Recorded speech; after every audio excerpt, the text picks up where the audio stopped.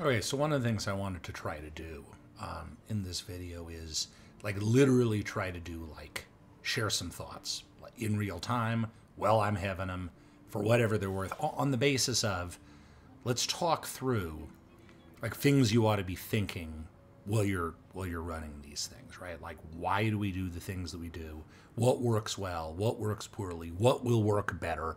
So I'm going to try through like some um, microphone gain management and some other things. I'm going to try to make it so you're not just listening to a nonstop litany of like buttons clicking in the background because uh, I have a video like that um, accidentally before I knew exactly how this overlay works. So I'm going to try very hard to avoid that. We'll find out at the end if it works. Um, but what I want to do is I'm going to play this uh, Picton 82. Why? I mean, 82 is easy.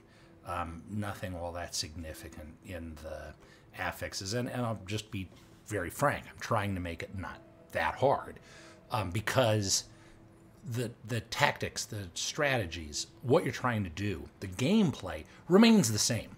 However hard it is, right? The harder it is, the more tight and the more perfect, the more exacting your gameplay has to be. But it's the same gameplay. I mean, you know, the the people who are playing little league are playing substantially the same game as the people who are playing you know in the major leagues. It's just much much harder. And you have to be much much better. And you have to execute much much more consistently. But it's the same rules same theories everything's the same. Um, and yeah i did just compare an 82 nightmare dungeon to little league. But when you're playing you know bulwark yeah kind of is. Um, so let's go i don't want to do that I want to do this. And because I didn't click over in time, now I got to remember where the F this is. There we go. Halls the Damned. Um, let's do this together. And it's been a little bit since I've done one of these, so let's hope that I still remember how to do it. And if I don't, then you'll never see this video anyway. I'll just not publish it in shame. It's the nice thing about not being a Twitch streamer is I don't have to be perfect all the time. I can just show you all the wins and hide all the losses. Um,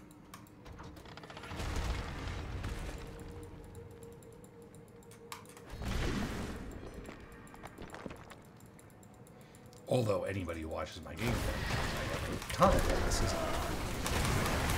So, why? I, I don't want ghosts. Friggin' ghosts are tough. Right now, ghost damage is really significant.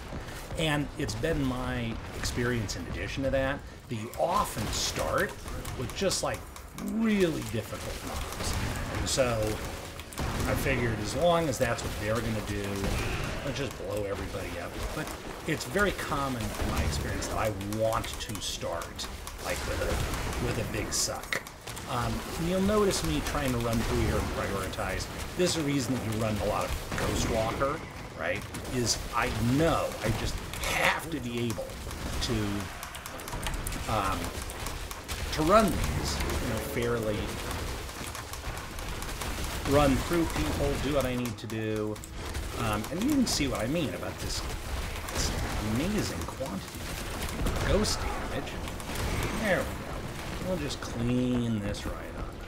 And so you do, I think that you do, frequently end up very frequently um, doing a lot of running around as you're looking to try to find high priority targets, as you're trying to look around and say, well, here's really, in everything that I'm doing, here are the people who really need to get killed.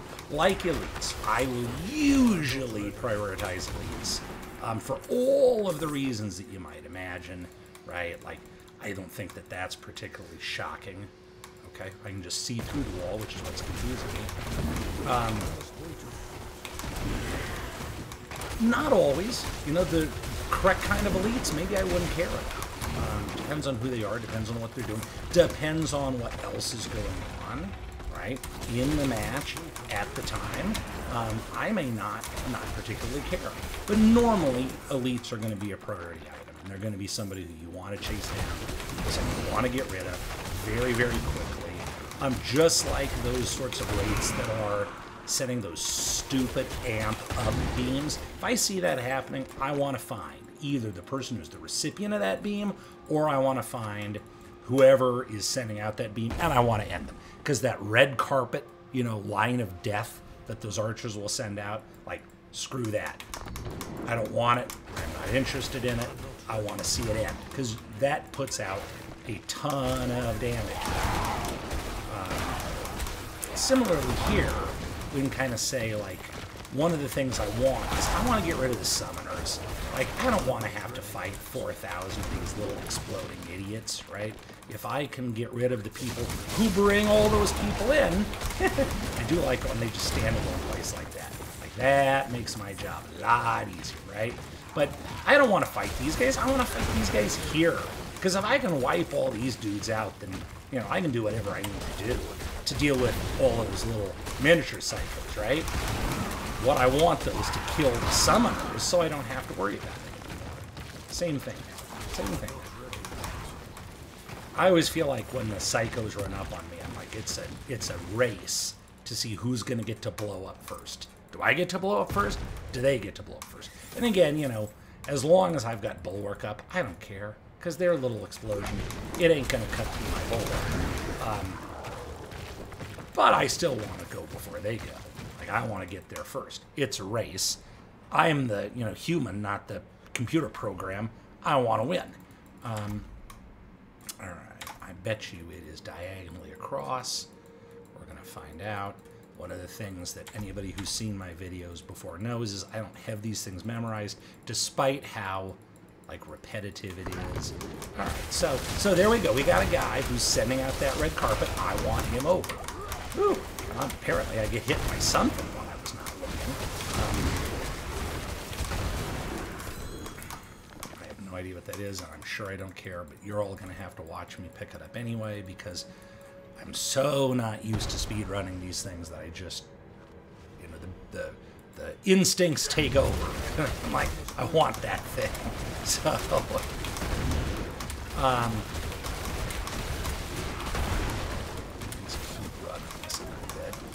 um, you will also see a lot of just, you want to kind of, often you want to push through these guys. Not all, the time, not, you know, for everything, but usually, like, the, the AI for how they position the characters is actually pretty good. And they'll take the people who are long-range damage dealers, and they really will hide them in the back, like the way that you should, the way that someone who's intelligent would. Um, and so oftentimes you're going to be like pretty well served by walking through that front line. Like the front line often really does exist. Like just to be people getting in your way, while the people who do a lot of damage um, hide in the back line.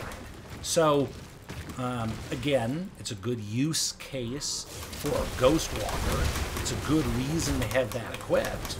Um, but it's also, it has to influence, like, your playstyle, right? Like, it, all of those abilities, Ghostwalker, um, anything else that gives you Unstoppable you might have equipped, none of it's going to be particularly useful um, unless you use it to push through the mob and get to the people who you really need to kill. Um, and so, you know, it's you got to remember that ultimately your build does depend on you, both playing correctly to the build and then also playing correctly in general, right? Like, um, I'm not going to say that just any old idiot can play Bulwark, even though I frequently tell people I'm just some idiot playing Bulwark. But I can get away with it because idiot though I am, and you know, 166 um, millisecond lag though I had just a little bit ago, I know the basics of the build.